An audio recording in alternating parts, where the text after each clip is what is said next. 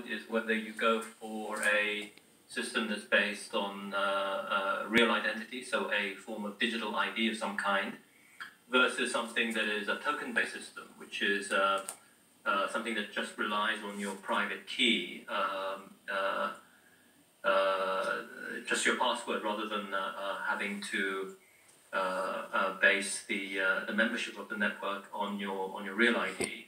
so, so somewhat like the cryptocurrency way of um, operating.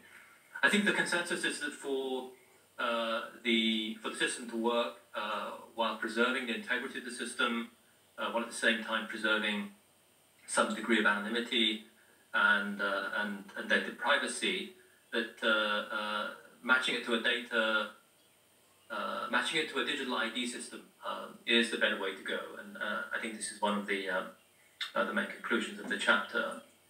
Um, the, the main conclusion the of the chapter set of issues have to do with what is the relationship between the central bank and the, um, the commercial banks and other payment service providers.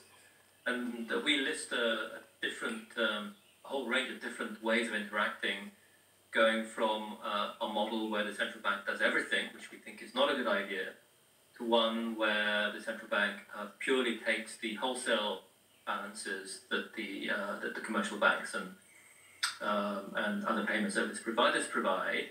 Um, and there are ways of uh, uh, finding middle grounds there where uh, there is a better uh, grasp of the data governance uh, while delegating most of the operational tasks to, the, to the private sector institutions there as well. So I guess you know those are the two main issues of what is the sort of foundational yep. um, you know, way of you know transacting and the second is what is exactly the relationship uh, that we envisage between the central bank and the and the private sector institutions. Chips for your chips. Um, chips for and, your chips. Uh, um, chips for your chips. It's coming, man.